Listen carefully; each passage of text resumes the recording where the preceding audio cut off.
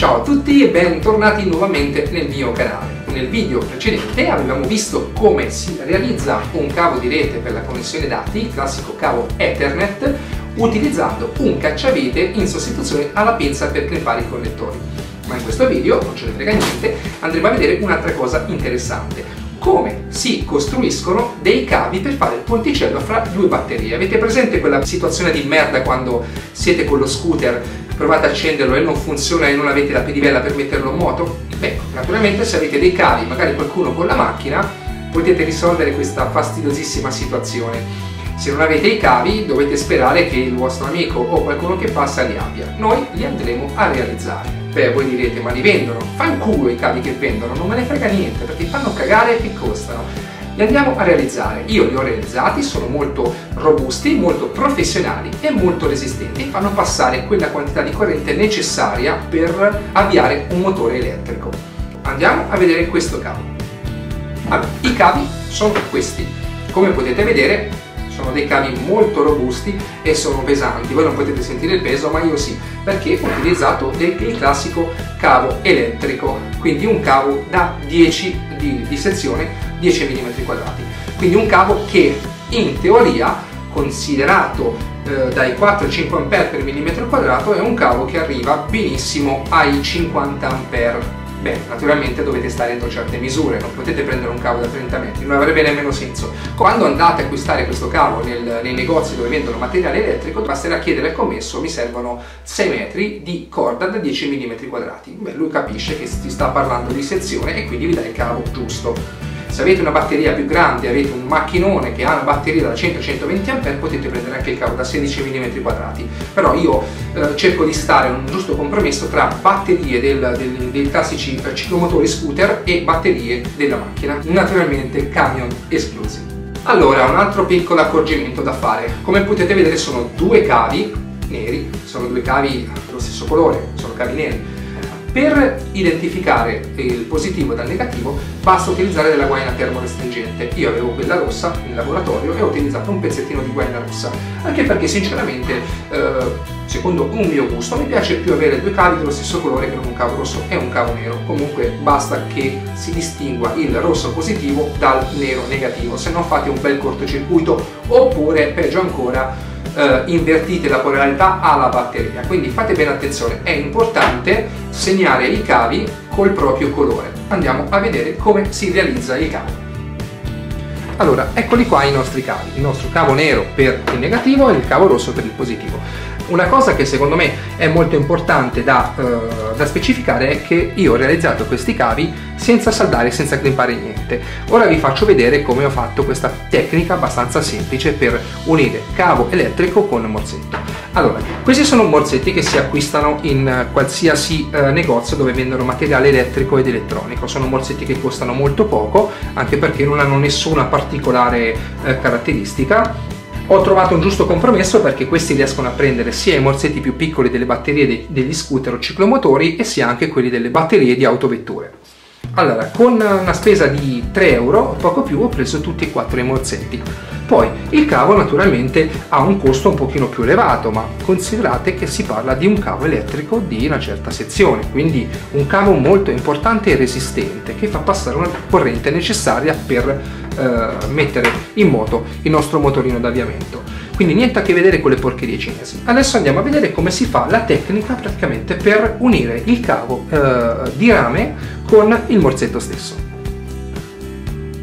Allora, eccoli qua i nostri amici termorestringenti. Allora, ci sono due modelli, questo è quello con il collante e questo è senza collante. Allora, questo lo useremo come rinforzo e servirà proprio per tenere serrato il cavo eh, al morsetto, mentre questo qua lo useremo come rivestimento per identificare il colore del morsetto. Ora noi stiamo lavorando sul morsetto rosso, quindi andremo a eh, realizzare il morsetto rosso. Allora, prima cosa da fare è, una volta che abbiamo eh, scelto il termorestringente, vedete anche lateralmente lo spessore questo è molto più spesso e anche molto più resistente rispetto a questo che è vedete non so se lo trovate con facilità questo termorestringente con collante comunque potete benissimo utilizzare anche il nastro isolante io uso questo per una questione di professionalità avere un lavoro un pochino più carino e dignitoso da vedere allora importante la prima cosa da fare è inserire all'interno il termorestringente. Mettiamolo subito anche se stiamo facendo un lato, lo possiamo infilare dall'altra parte visto che non è ancora intestato, ma noi per abitudine lo inseriamo subito. Allora dobbiamo inserire un pezzettino di termorestringente nero, questo, quindi possiamo fare anche come misura la stessa del, di quello già esistente, che se non è un termorestringente comunque. Ecco, e poi prendiamo un pezzettino di guaina rossa e la facciamo leggermente più lunga, ma proprio di poco, intanto da coprire la parte nera. Prendiamo il cavo e passiamo i due termorestringenti in modo da poterli prendere successivamente. Adesso dobbiamo tagliare un pezzettino, mettiamo a nudo il cavo di rame tagliando 2 cm, 2-3 cm di guaina, eccolo qua, e adesso andremo a fare un'operazione abbastanza semplice e banale però è molto importante. Adesso prendiamo il morsetto e non so se riuscite a vedere ma questa parte c'è un foro, una scanalatura dove il cavo dovrà passare all'interno poi vi spiego perché prendete meno della metà prendete meno della metà fate un piccolo ricciolino e dovete infilarlo qua dentro. Ecco fatto. Adesso lo tirate indietro. Perché questa operazione? Perché una volta quando sarà eh, inserito il termo restringente, sarà termo ristretto, se voi provate a tirare vedrete che il cavo non si stacca. Sarà quasi impossibile staccare un cavo come questo, vuol dire deformare una guaina termorestringente così spessa. Adesso che abbiamo fatto questo, prendiamo questa parte, la pieghiamo su se stessa, vediamo se, si, se riesco a farla vedere.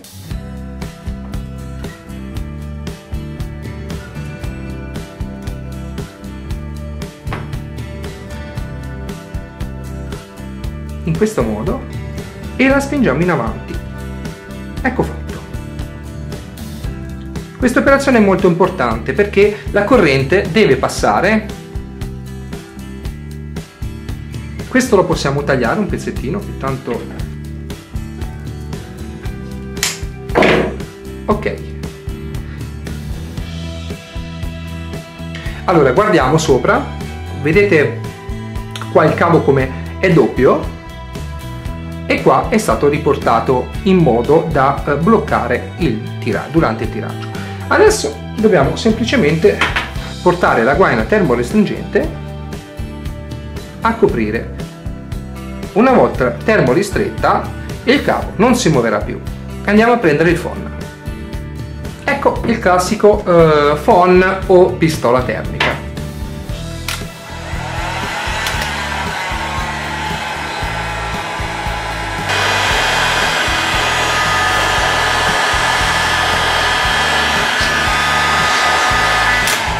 abbiamo termoristretto l'unica fate attenzione perché adesso scotta quindi ed è, è anche morbido. Bisogna lasciargli il tempo per seccare.